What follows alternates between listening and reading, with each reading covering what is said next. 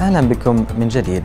كشف المدير التنفيذي للصناعة والنقل بمجلس التنمية الاقتصادية حسين رجب أن المجلس يتفاوض مع خمس إلى ست شركات شحن جوي لشغل المساحة المتبقية من منطقة الشحن الجديدة في مطار البحرين الدولي على أن يتم الانتهاء من المفاوضات خلال الأشهر المقبلة. وقد أكد رجب في تصريحات صحفية على وجود عدد من المشاريع الجديدة التي يعكف المجلس على إنجاز عدد منها في منطقة البحرين للخدمات اللوجستية. وقد أوضح رجب أن مجلس التنمية الاقتصادية سيقوم بتدشين مصانع جديدة إلى جانب وضع حجر الأساس لمنشآت صناعية بصورة شهرية لمشاريع في القطاعين الصناعي واللوجستي لافتا إلى أن حجم استثمارات الشركات التي استقطبها المجلس خلال العام الماضي في مجال الصناعة والخدمات اللوجستية بلغ 210 ملايين دولار.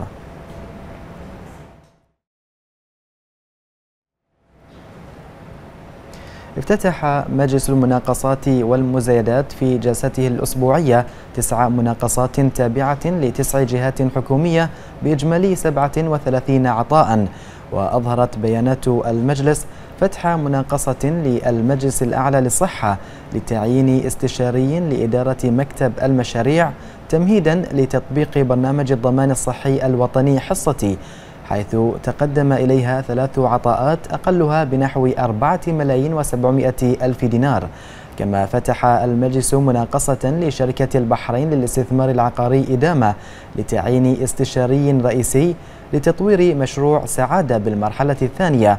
فيما فتح المجلس مناقصة لوزارة الأشغال وشؤون البلديات لتشغيل وحدة معالجة مخالفات أو مخلفات مياه الصرف الصحي.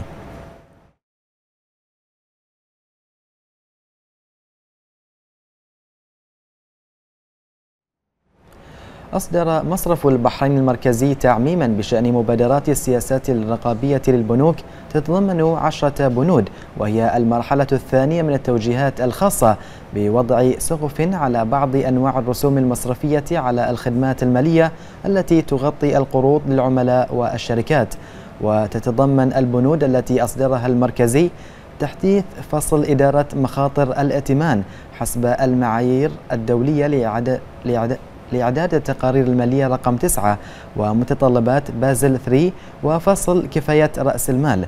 وتتضمن البنود كذلك تعزيز فصل المتطلبات الرقابية عالية المستوى حسب مبادئ الحوكمة الصادرة عن لجنة بازل وتحديث متطلبات فصل أخلاقيات العمل والسوق لتكون متوافقة مع متطلبات المجلد الثاني ذات صلة وعملية المراجعة الإشرافية.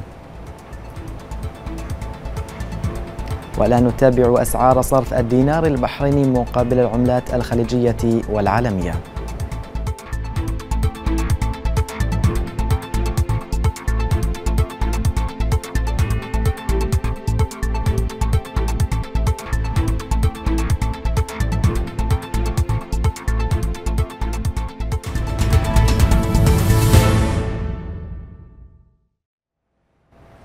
نتابع النشرة مشاهدينا مع فقرة إغلاقات البورصة لبداية تعاقدات هذا الأسبوع والبداية مع بورصتنا المحلية حيث أقفل مؤشر البحرين العام في إغلاق اليوم على تراجع بنسبة 0.60% بإقفال عند مستوى 1490 نقاط حيث شهدت التداولات اليوم تراجع مؤشري قطاع الاستثمار وقطاع الصناعة وقد بلغت كمية الأسهم المتداولة 4 ملايين و368 ألف سهم بقيمة إجمالية تجاوزت مليون وستة وثمانين ألف دينار تم تنفيذها من خلال 109 صفقات.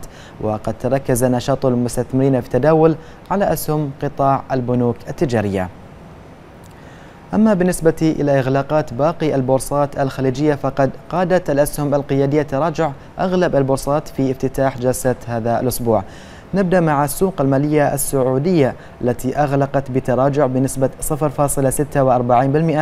بإقفال عند مستوى 8573 نقطة وذلك عاد بشكل رئيسي لانخفاض قطاعي تجزئة الأغذية وأيضا الأدوية. مؤشر السوق الأول في بورصة الكويت أغلقت على ارتفاع بنسبة طفيفة بنسبة 0.05% بإقفال عند مستوى 5442 نقطة وذلك بدعم من تقدم أغلب مؤشرات البورصة وعلى رأسهم قطاع التكنولوجيا. ننتقل إلى سوق أبو ظبي للأوراق المالية التي أغلقت بتراجع بنسبة تقارب 16 النقطة المئوية بإقفال عند مستوى 5082 نقطة وذلك بقيادة تراجع مؤشر قطاع العقارات. سوق دبي أقفلت على تراجع بنسبة تقارب 15 النقطة مئوية بإقفال عند مستوى 2000 549 نقطة وذلك عاد لانخفاض كبير لمؤشر قطاعي الاستثمار وأيضا الخدمات المالية.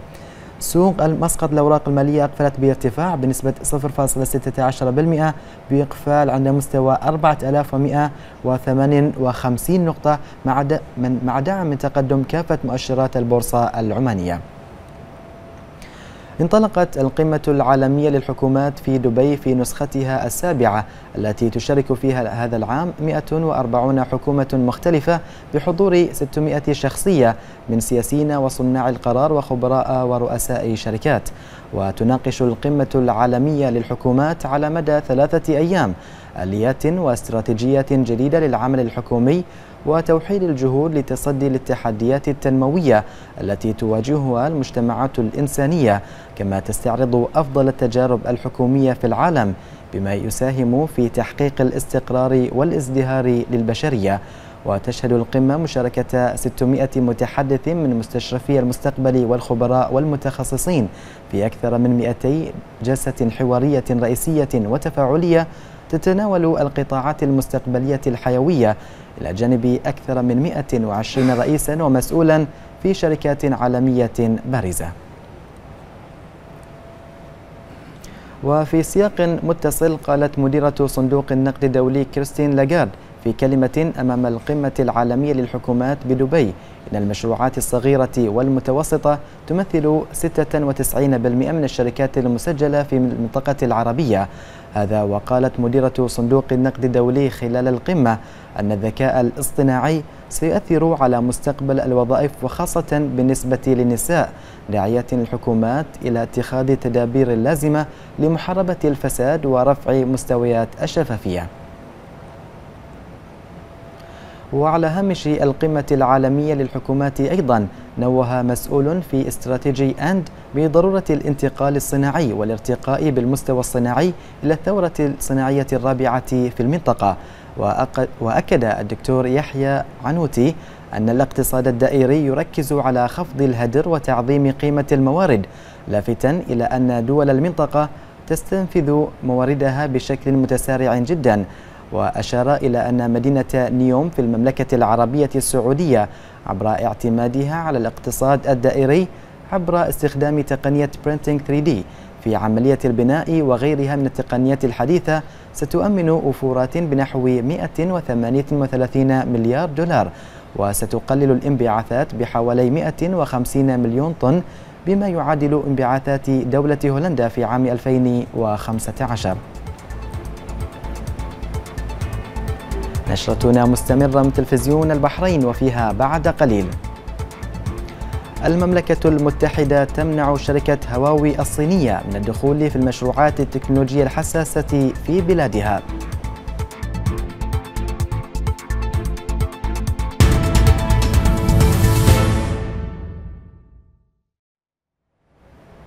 وافقت الحكومة الإسبانية على تعيين أكثر من 1700 موظف جديد للتعامل مع تداعيات خروج بريطانيا من الاتحاد الأوروبي خاصة في مجالات الحدود والرقابة الجمركية.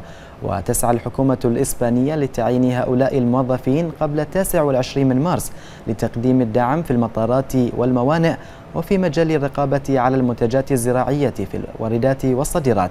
كما ستقدم إسبانيا الدعم للبريطانيين المقيمين في البلاد والبالغ عددهم نحو 300 ألف شخص. وكانت رئيسة الحكومة البريطانية تريزا ماي قد تعهدت بتنفيذ اتفاق بريكزيت في موعده المقرر في التاسع والعشرين من مارس المقبل. قالت صحيفة ذا صن البريطانية إن قوانين جديدة بشأن الاستثمار في بريطانيا ستمنع شركة هواوي الصينية من دخول المشروعات التكنولوجية الحساسة في المملكة المتحدة. وأضافت الصحيفة أن كثيرين يشعرون بالقلق من من أن السماح لهواوي بالدخول في طرح شبكة الجيل الخامس من الهواتف المحمولة في بريطانيا سيتيح للصين التجسس على الحياة الخاصة للناس واختراق الشركات البريطانية. وقال التقرير إن وزيري الخارجية والدفاع البريطاني من بين المؤيدين لخطر امتداد الشركات الصينية.